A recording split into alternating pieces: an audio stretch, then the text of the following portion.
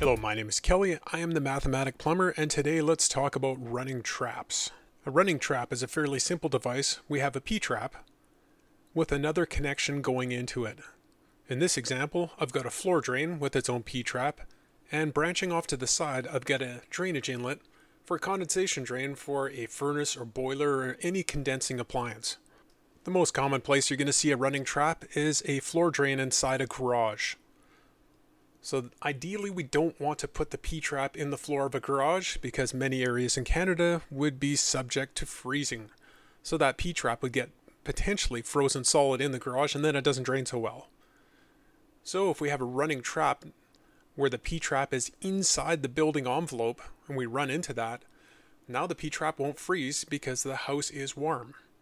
There is very few regulations around the running trap, but we do have one in clause 2471 part 2. A cleanout fitting shall be provided on the upstream side and directly over every running trap. And we can see that cleanout fitting right in this picture here. We have that cleanout fitting going into the upstream side of the running trap. And the reason why it's there, if anything comes down that floor drain from the garage in this particular picture, it'll get built up in the P-trap and we have a means to clean it out.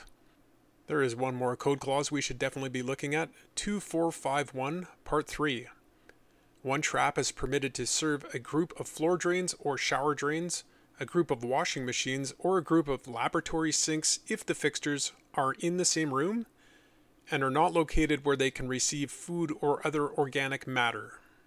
And in this picture here, we see a group of three 2 inch floor drains that are all joined together and are served by one running trap. So that code clause would allow us to do that. Now, what the code is not clear on is how to size this. How do we size a running trap? So if we look at table 24102, permitted hydraulic load from a fixture based on size of trap, we should be able to figure this out.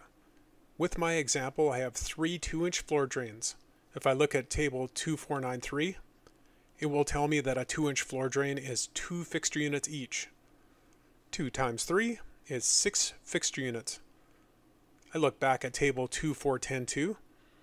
Look down the right hand column, it says hydraulic load of 6 if I go across to the left, I need a 4 inch trap. And that's how I size it. Now showers are special. They have their own table entry in table 2493. Let's look at that. If I have a shower with one head, it's a one and a half inch trap minimum with one and a half fixture units. If I have a shower drain that's serving two or three heads, it needs to be two inches in size and a hydraulic load of 3 fixture units. If I have a shower drain that comes from 4 to 6 heads, now you need a 3 inch trap with 6 fixture units. So this would be more so in a gang shower. Now regarding these gang showers, the code does have something to say about it. Clause 2223, and we're going to start at part 2. No more than 6 shower heads shall be served by a single shower drain. That was already reflected in Table 2493. Clause 2223, Part 3.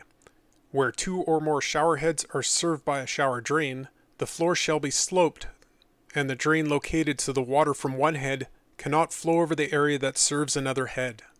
Now, this one may not seem evident, but the idea here is if I'm having a shower and Joseph is standing beside me having a shower, that anything that's coming off of my body doesn't end up pooling underneath his feet. Clause 2223, Part 4. Except for column showers, when a battery of shower heads is installed, the horizontal distance between two adjacent shower heads shall not be less than 750 millimeters. Of course, that 750 millimeters is a minimum standard, and we can actually go further apart than that.